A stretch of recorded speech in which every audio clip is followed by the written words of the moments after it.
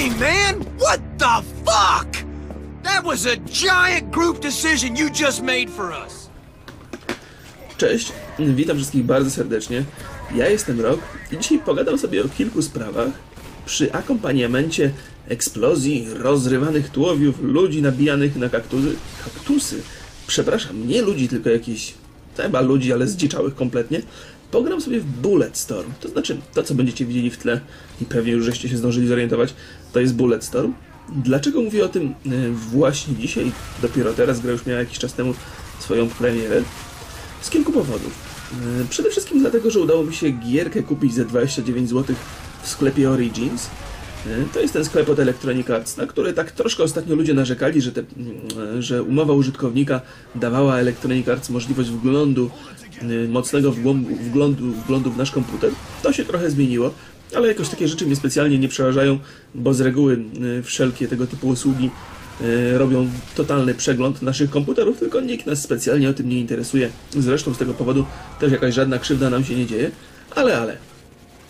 E, Moje pytanie pierwsze brzmi tak. Czy chcecie, żebym rzucił okiem na sklepy dystrybucji elektronicznej i trochę Wam o nich opowiedział? E, Bo to jest bardzo istotna e, gałąź rynku elektronicznej rozrywki. Myślę, że może Was to zainteresować, także czekam na odpowiedzi w komentarzach.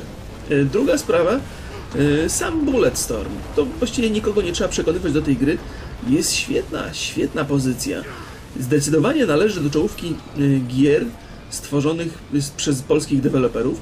People Can Fly zrobili świetną robotę. Ja, ja mam taką skłonność do kupowania gier dopiero wtedy, kiedy e, znajdą się one, w, kiedy, kiedy mają sporą obniżkę cen. I dobrze na tym wychodzę z reguły. I, i, I ten Bulletstorm odkładałem. Myślałem, że specjalnie ta gra mnie nie przekona, ale skoro była za te 29 zł, to postanowiłem kupić. I jestem zachwycony, jestem zaskoczony bardzo pozytywnie.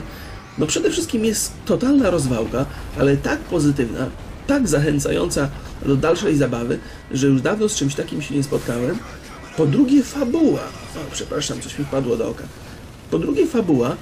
Nie spodziewałem się, że w takiej rzeźni będzie tak fantastycznie zarysowana fabuła. Bohaterowie są wyraziści, już trudno o mocniejszych bohaterów. Naprawdę. E, No a przy tym od czasu do czasu pojawiają się retrospekcje, które tłumaczą ich przeszłość, które tłumaczą czemu stali się tacy, jacy się stali.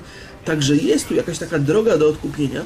Ta fabuła jest bardzo bogata e, w takie epickie momenty, naprawdę. No, zrzucanie jakiejś wieży na głowę wielkiego robala rodem z Diony Franka Herberta no, ro- zrobiło na mnie kolosalne wrażenie i tam takich elementów jest bardzo dużo.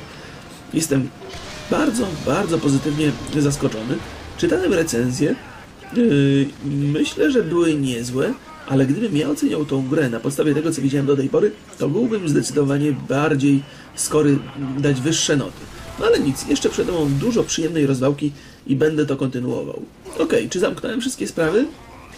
Tak, e, ponawiam pytanie, czy interesują Was sklepy i dystrybucja elektroniczna w ogóle?